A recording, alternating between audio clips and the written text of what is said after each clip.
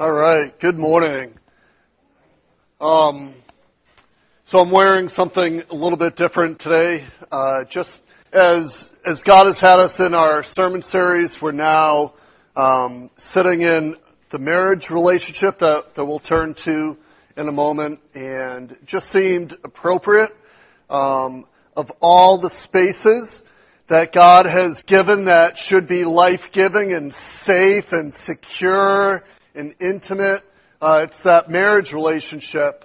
Um, but sometimes that's not the case, and there's a, a ton of brokenness around us. Uh, there's some brokenness within us, um, and there are loads of resources uh, for people who find themselves in domestic violence situations. Uh, it's been a pleasure of mine to begin that journey uh, with a group up in Rochester. Um, so you guys get a purple shirt as a reminder that October is Domestic Violence Awareness Day. Um, if you know folks that you just don't know where to go or who to call, uh, see me after. We've got some pretty solid resources that, that we can point you towards. So I want to, with that, invite you to Colossians chapter 3. Our series is the Lordship of Jesus, and that topic itself is, it's not really new, uh, it's not super creative.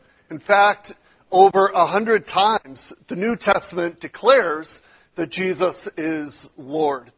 Um, and so we find ourselves asking, what difference does that make? The lordship of Jesus is not new, but what if you and I, as his people, as his church, decided to live with the firm belief that Jesus is Lord? How would that affect us? What would change? What would become new? What would stop if we lived as if Jesus were Lord?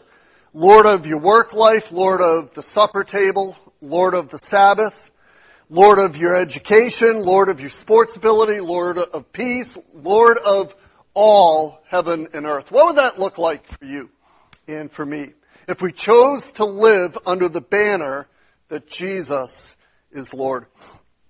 The book of Colossians, uh, specifically chapter 3, is where we've been spending our time and where we our time again. Um, this is written by the Apostle Paul. Uh, he wrote more than anyone else in the, the, New Testament. And he's writing to his friends in a city called Colossae. He spent some time there. He's now in prison. The only way he can communicate with his friends about the Lordship of Jesus is to sit and write. And we have it as the book of Colossians. And in the, the first part of the book, Paul has probably more than any other place done an amazing job bragging about who Jesus is. He has a really high view of who Jesus is and what Jesus has done. He speaks about the Colossians, his friends, have been strengthened with all power according to his glorious might so that they might have great endurance and patience and that they joyfully give thanks qualified them to share in the inheritance of the saints of light. Paul speaks about this Jesus rescuing them from the dominion of darkness and bringing them into the kingdom of the Son he loves. Paul speaks about in Jesus we have redemption for our sins and that the fullness of the deity rests purely and fully in the person of Jesus and that all things in heaven and all things in earth reconciled to the Father through Jesus. I say that all because Paul is not writing a book about marriage in Colossians. He's writing a book about the lordship and the supremacy of Jesus. But in chapter 3, he begins to ask the question that you and I naturally would ask. What difference does the fact that Jesus is amazing, that the fullness of the deity is in him, that I've been reconciled through this Jesus who's done something in the cosmic world to bring all of heaven and earth under his lordship. What difference do these grand themes mean to me? What difference does it make in my life? And so, chapter 3, we begin to hear some of the application of it. We're going to be in verse 19, uh, but we'll start reading in verse 1. Since then, you have been raised with Christ. Set your hearts on things above, where Christ is seated at the right hand of God.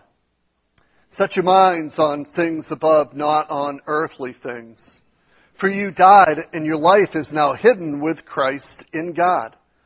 When Christ, who is your life, appears, then you also will appear with him in glory.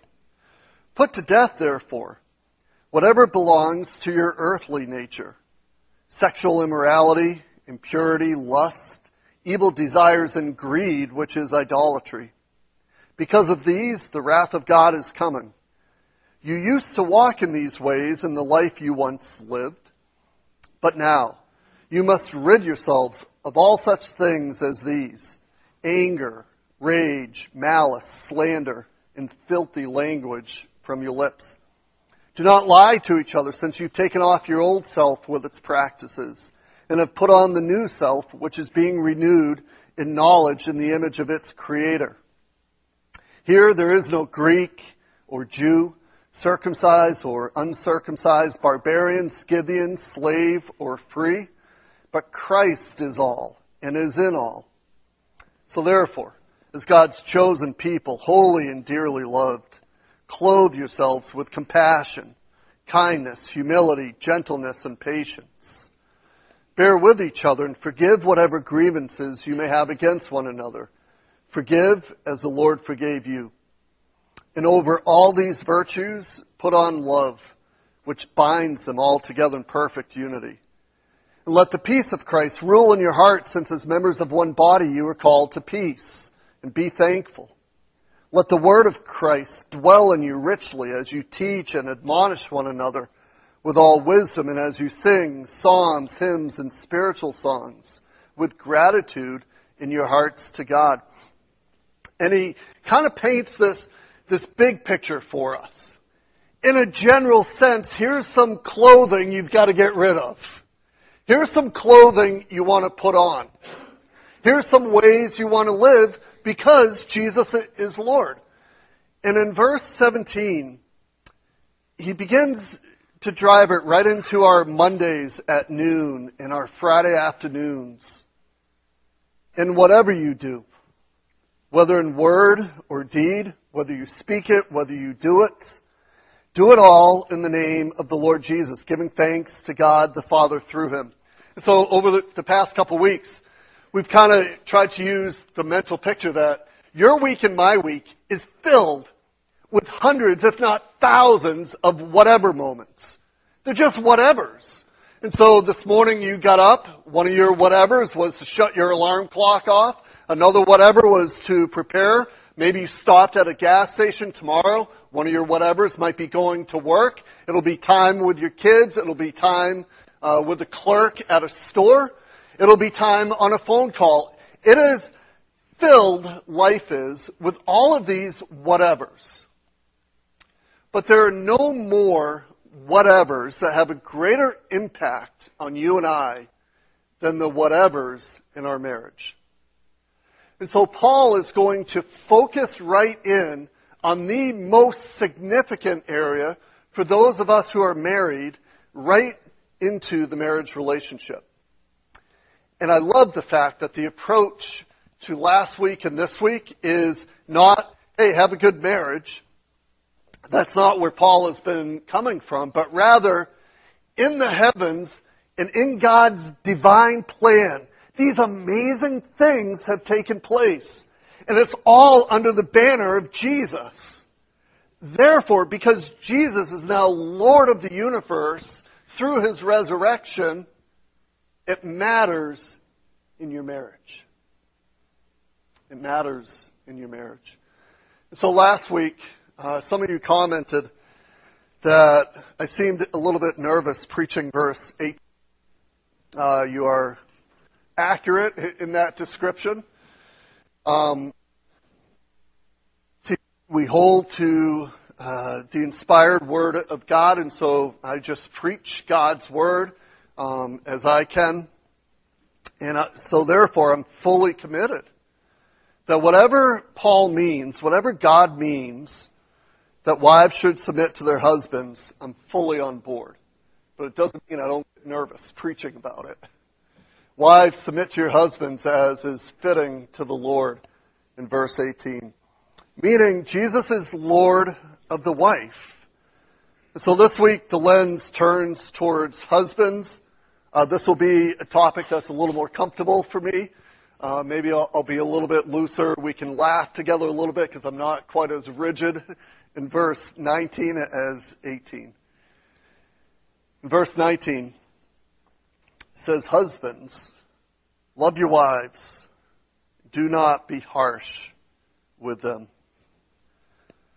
I don't know if there's anything um, that brings more laughter than uh, speaking about marriage relationships, right? Some of the best stories that I've heard over the years, whether it's coming out of my marriage or someone else or someone's kind of written something about it. Um, one of them, if I remember it accurately, was a woman that, that writes in her diary, a wife. Uh, she writes something to the effect of, you know, it's been raining for days now. And my husband seems to be getting really depressed by it. Uh, he keeps standing by the window, staring. And if it continues, I'm just going to have to let him in. And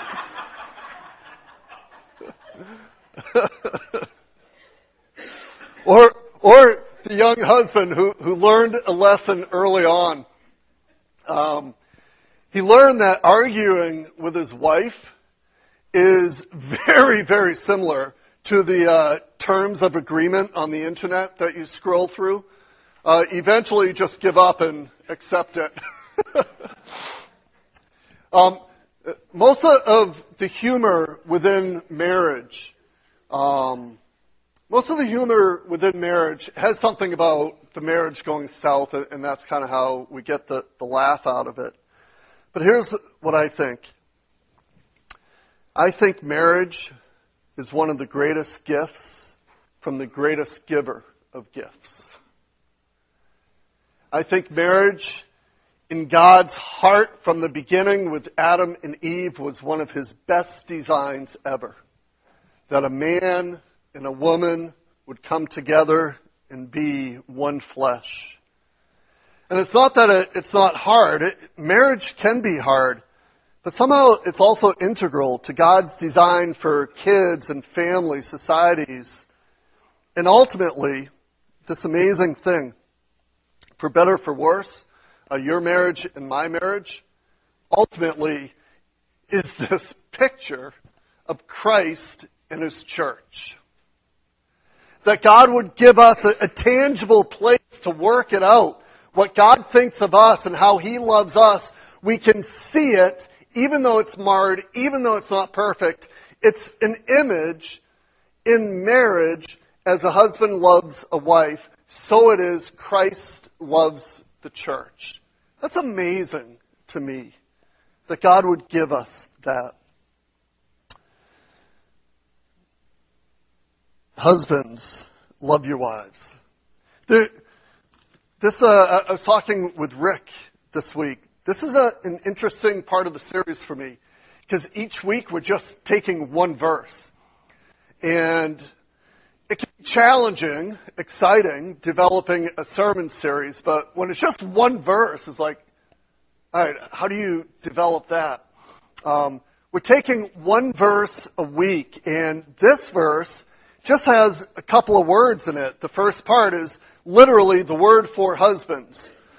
And so, wives, um, I want you to hear this like I encouraged the men last week to hear. Paul is speaking in the, we call it the vocative sense, meaning he's calling them like I would call you to get your attention. Hey, Jen, uh, that's a, that's a vocative sense. And Paul is using that to be, hey, husbands, husbands. And so ladies, this sermon although you can eavesdrop and listen in, this sermon is directed for the husbands because that's to whom God is speaking. Meaning, it is not your responsibility, wives, to manipulate things in such a way to get the result you want from your husband. Hear this because it's God's word for all of us, but it's directed to the husbands. Um, in fact, wives, it's not your job to act a certain way. You have the same job as the husbands last week. Our job is not to get you to obey God's command. Our job is to make it easy for you that you would like to fulfill Jesus' command.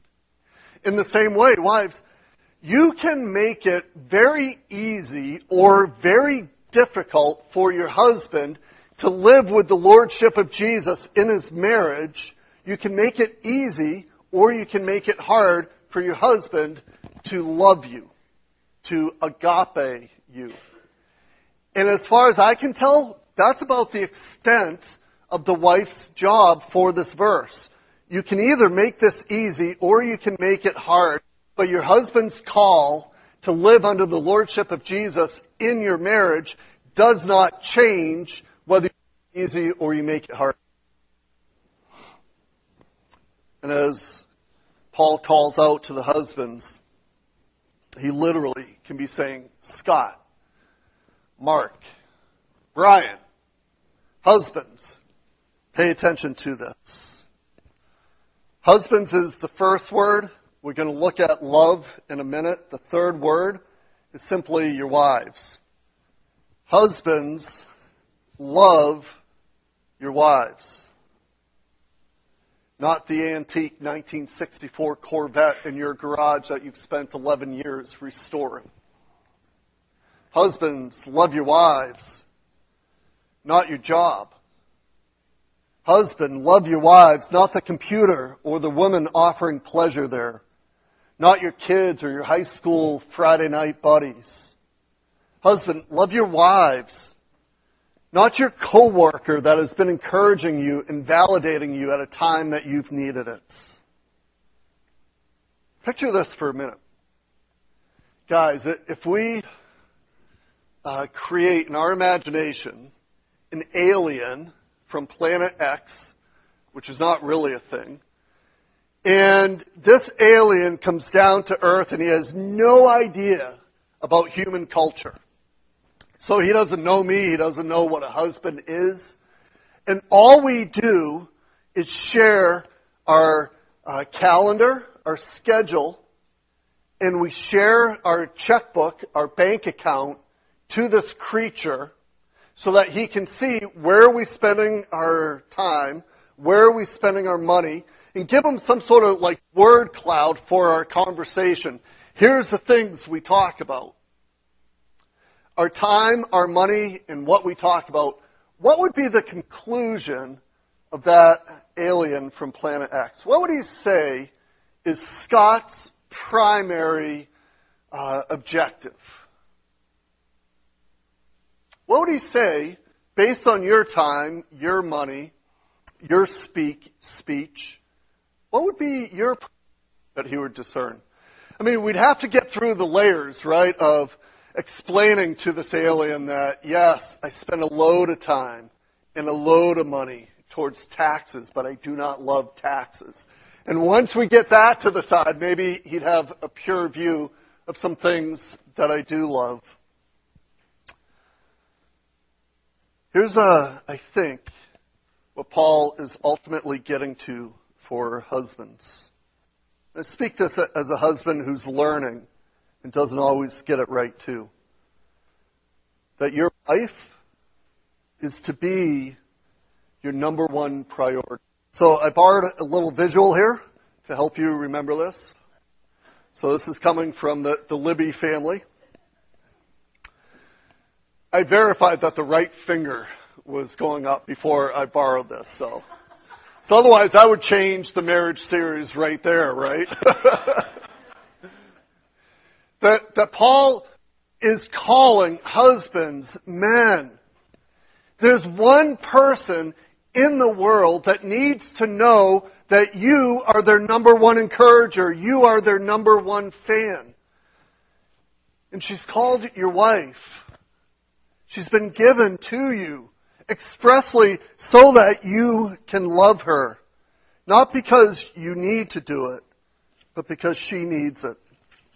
So, we are in a church. Um, can we put our next slide up, Ken or Madeline? Um, we are in a church that we don't value political correctness because otherwise we'd have to edit the Bible, um, and I'm not a fan of that. And so I just want you to to read out of 1 Peter.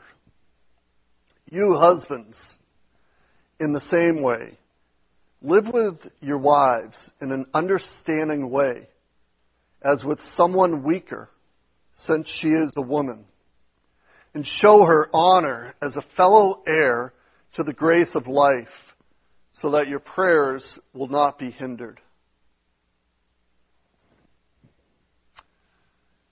I don't know what a weak woman is. I'm still waiting to meet one uh, around this church. I certainly do not have one in my marriage. and yet somehow, I think in God's view of this whole thing, that He's placed a husband to care and nurture and protect and love a wife because she is a weaker vessel. And it's the strength of the men that God says, offer it to her. Give it to her because she needs it. And God doesn't shy away from why the wife needs the strength and the love of the husband. Because she's a weaker partner. And uh, we could spend some time unpacking that and maybe contextualize it. But at the end of the day, I think we can also sit back and say, okay, God, you've given me the strength of manhood, whatever that means, and I want to use it to love and to serve and to give for my wife. And in the middle between these two of husband, wife, is the word love. Husband, love your wives. There's a few different words that, that are used for love in the New Testament. One of them is uh, philos, philos, which uh, we all know, like Philadelphia, the city. How ironic is that, right?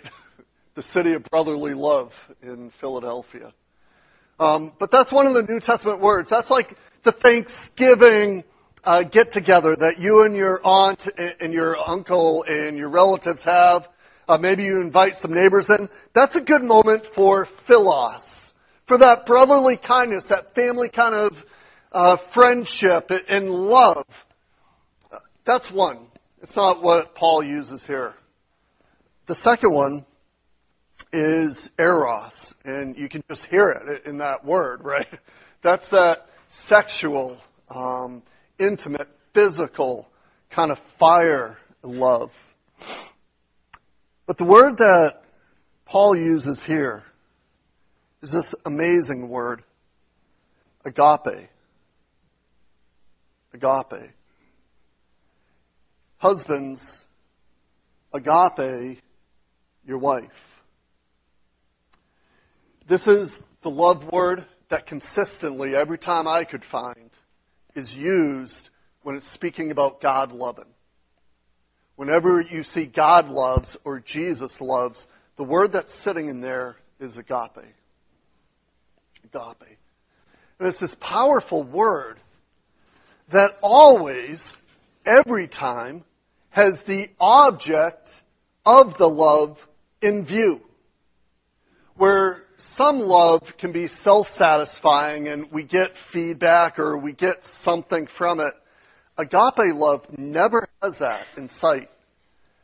God loves because he has you and I in mind. Period. God does not benefit from loving us. Right? In fact, God paid a high price to agape us. Because agape is always sacrificial too. That kind of love that a husband is to have for a wife always involves action.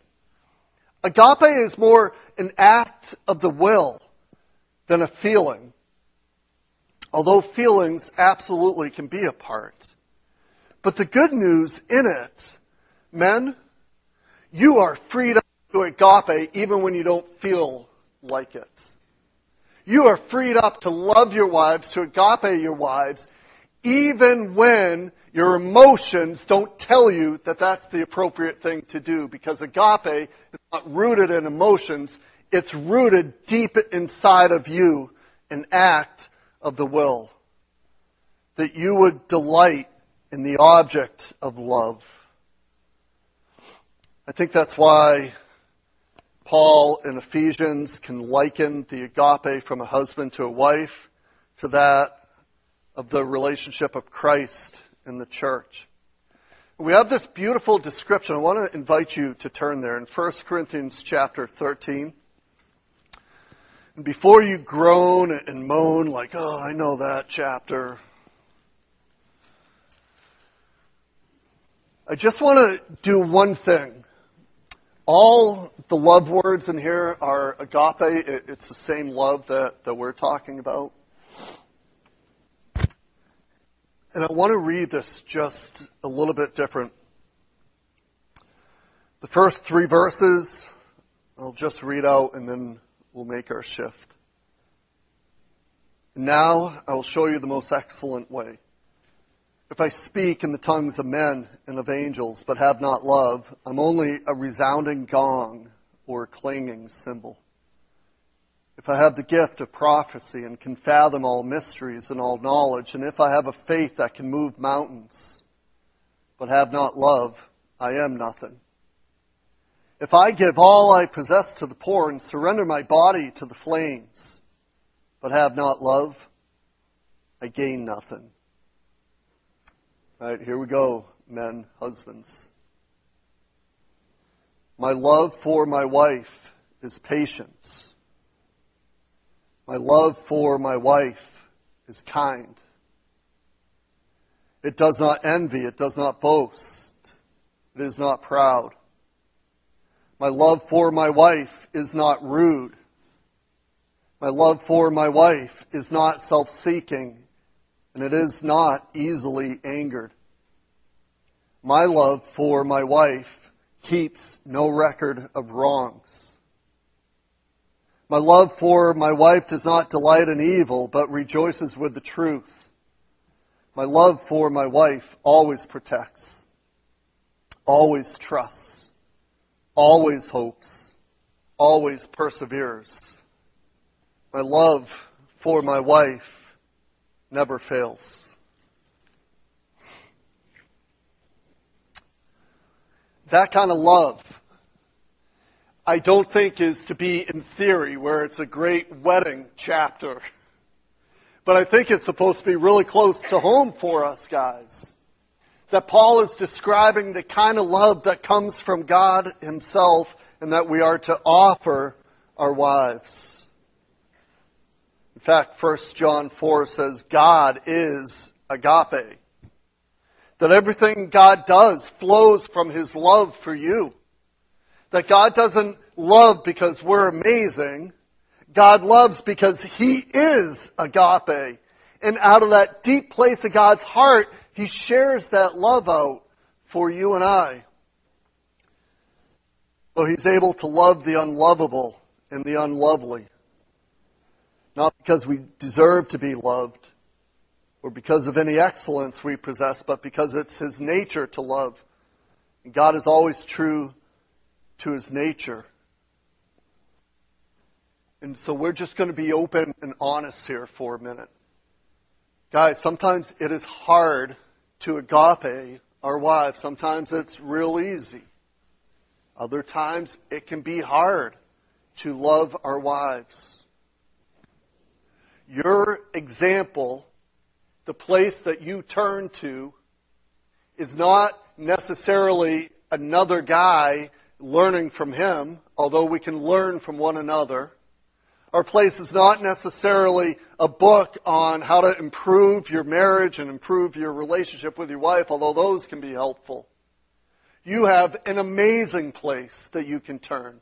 And I have an amazing example of what it means to love in the person of Jesus, who loved us while we were enemies and gave himself to us in that sacrificial step to die on a cross to reconcile us to himself. And I think in the same way, when I can begin to understand that kind of agape, that kind of giving, that kind of love, that's sacrificial and delights in the object of agape, to have a sense that even if this is a hard time in my marriage, even if this is a rough patch in your marriage, men, you have the ability to choose agape when our eyes are set on Jesus who agape you even when you were unlovable and unlovely. We agape because we have an example who has loved us. The verse ends in Colossians, husbands, agape, love your wives. And then he has this little phrase. In the NIV it translates it, and do not be harsh with them. The word behind harsh is actually bitter. Be bitter uh, with them. And the, the Greek here is, is sitting in a, in a way that it's describing this ongoing activity. Like it's a present, active, imperfect verb saying, don't keep on being bitter. Like don't keep going that direction. Don't be embittered towards your wives. The verb has the idea of being sharp, of being harsh, of being bitter. And I think it, speaks of the friction that's caused sometimes by our impatience and our thoughtless nagging. And the reason I think Paul brings it up, if you don't choose agape, if we don't love our wives, something will fill that vacuum. And I think nearly every time what fills it is bitterness, perpetual irritation and fault finding, looking for what's wrong with your wife rather than choosing to share agape with her. And here's where we can land together. Some of you this morning may be bitter. You can be bitter whether you're 25 and newly married, or you can be bitter if you're 65 and have been married for 40 years. And you know you're bitter. You know you're bitter when what you see in your wife is her faults. When we catch our major vision of our wife is what's wrong with her, bitterness has crept in. Harshness has crept in. And here's why I love the approach to this. This is not just marriage advice. I believe Jesus is Lord of the universe. I believe Jesus is Lord of heaven and earth. And so I believe that Jesus can have an impact within my marriage. Therefore, even if I am bitter at 65 years old and I don't think a pattern can change in my marriage, Yet, I believe this. Jesus is Lord. I can submit to Lordship and I can take a step of agape because of what He's done for me. I want to encourage you. If you think your marriage is what it's going to be, take a step. Take a small, faithful step of agape. Practice the Lordship of Jesus by taking a step of lo- love small steps of selfless finger wagging. Sometimes the smallest steps can put you in a new place. And here's, here's the bottom line truth for this.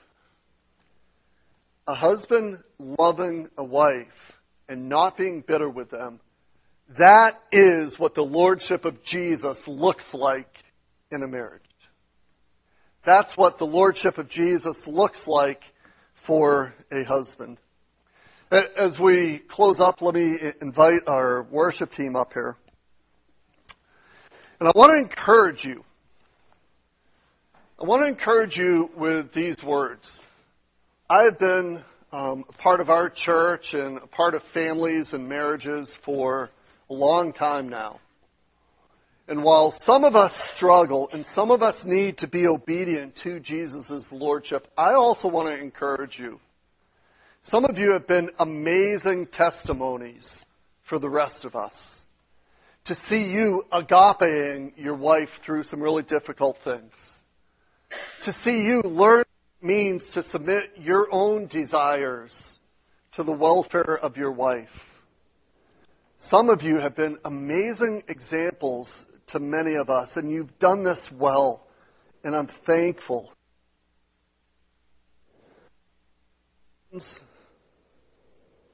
You get to be Jesus, your wife. Again. Husbands, you get to be Jesus to your wife. And it looks like agape. Husbands, love your wives and do not be bitter or harsh towards them. Father, may you help us in our journey as we learn to submit to your lordship in the various areas of life. And in the one that impacts us the most, God, I pray that you would help our marriages, and in specific, that you would help our husbands. God, help me to be more agape, more loving than selfish. God, when that road gets tough, when we want to cash it in, Lord, may you give us a picture of Jesus in his fullness, of the extent he went to love us. Lord, may you encourage us towards faithfulness and longevity before you. Lord, thank you that you are Lord of heaven and earth, and you are Lord of the husband as well. In Jesus' name, amen.